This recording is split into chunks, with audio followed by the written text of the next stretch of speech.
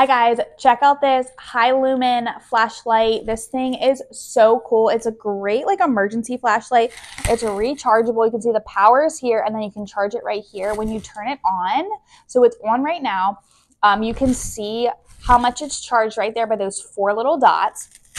This thing is so powerful. And not only can you do like a wide like a nice big flash, you can also do a very narrow one. So big to narrow, there is three different settings. So we have the bright, this is the lower, and then the flashing. And then on the front, so there's seven, there are seven modes total. So three from the actual front of the flashlight, and there's a little lantern light here. If you hold down the power button, the lantern light is gonna turn on. This is the bright setting. Now you just press lower, red, and then we have our emergency lights here. So seven different settings.